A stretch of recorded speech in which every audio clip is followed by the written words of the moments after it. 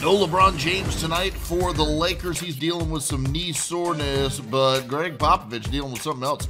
A chance at history. He's one regular season win shy of tying Don Nelson's all time coaching wins record. In the first, getting support from Dejounte Murray. Turnaround jumper goes down. Then on the drive, this one works as well. Layup plus the foul. He'd missed the free throw, and then Murray showing off his full service game outside, hitting the three from straight away. San Antonio led it by six at the half. Third quarter, Malik Monk misses a jumper.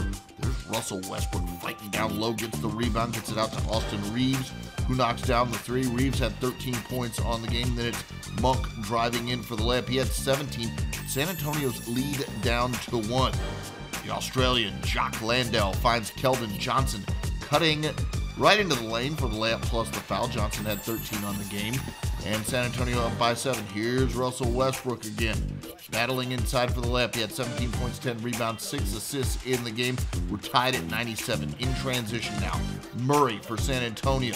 Crosses his defender, gets a layup. Then it's Murray.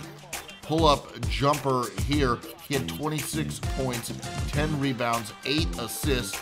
Josh Richardson's turn. He hits a three pointer. He had 18 on the game.